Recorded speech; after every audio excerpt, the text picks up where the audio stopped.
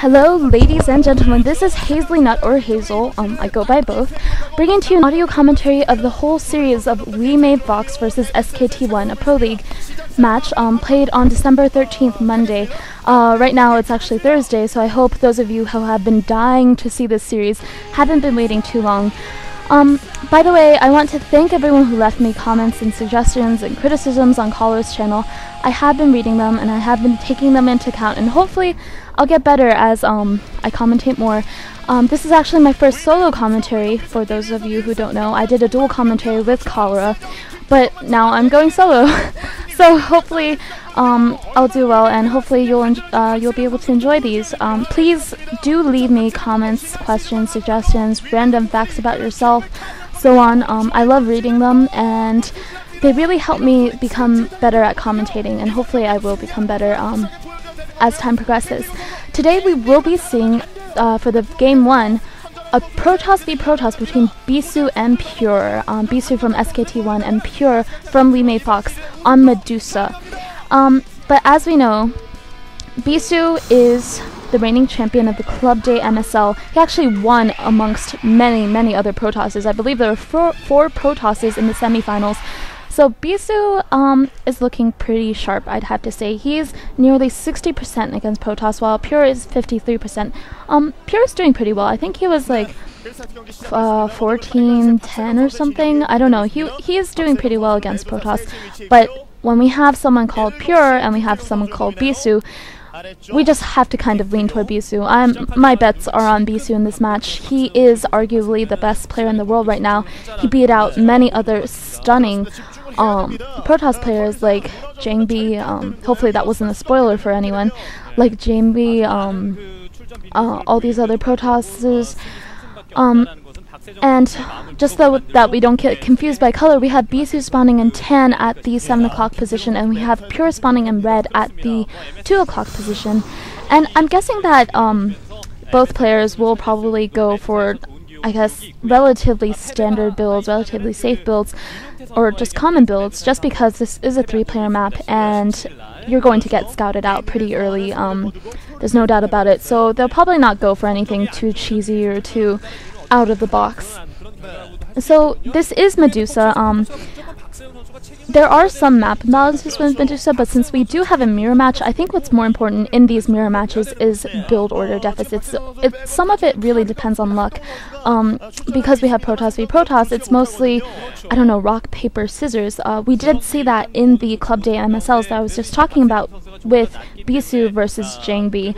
Um, in that game, actually, um, I think Bisu won mainly, well, he was skilled. He is unarguably very skilled in micro and so on.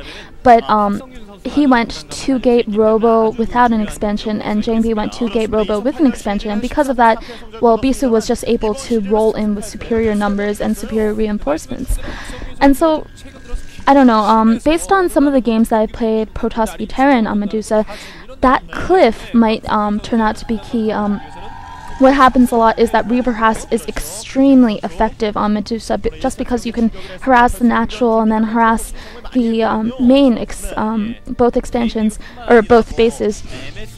But that might not happen here because um, I doubt that the Protosses, either Pure or Bisu, would expand to that upper cliff right away because it's just hard to um, hold against Reaver Harass.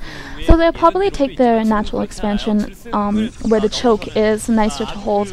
Um, and as you can see, both players are going for something like a um, uh, one gate into Psycore, I think. Uh, I believe Bisu's Psycore is a little bit later because he he's building um, zealots. I think um, he has one zealot out chasing. They're both chasing the probe because they really don't want their tech to be discovered since intelligence really is golden. it looks like Pure was trying to do something like a manner pylon. I'm not sure if you can manner something like um, the 7 o'clock position, but as we know, um, manner pylons are very annoying. Bisu is actually quite good with his manor pylons. All my games, or all his games that I've seen, Protoss v Protoss, he's mannered every single time. Um, so Bisu has produced two Zealots to chase away that probe. I'm not sure why he's built two Zealots unless he's planning to use them. Um, it seems to be this um, investment that he has to use to do some harass or do something. But I guess he's just going to try to usher out those probes, uh, that probe. Um, meanwhile, both players are going for Dragoon range, and Pure looks like he's going for a robotics facility, possibly for some Reaver play. Um, Reavers are quite annoying for that cliff. Um, you can jump up and down, and that shuttle is really hard to pick off because of the cliff behind your base. Um, and it looks like Bisu went for two gate instead, so he'll be pumping Zealots and Dragoons. Um, we'll probably see that. And this is a smart idea. Pure is mining out that little um, mineral patch because otherwise a scouting probe could build a probe and jump across the temples there.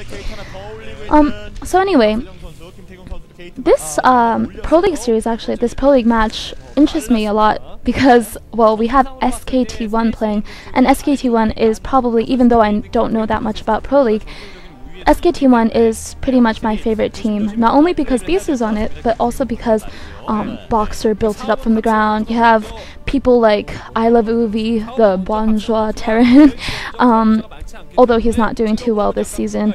Um, and then you have all these wonderful powerhouse players like Best, Bisu, Fantasy, who came up as a runner-up in OSLs.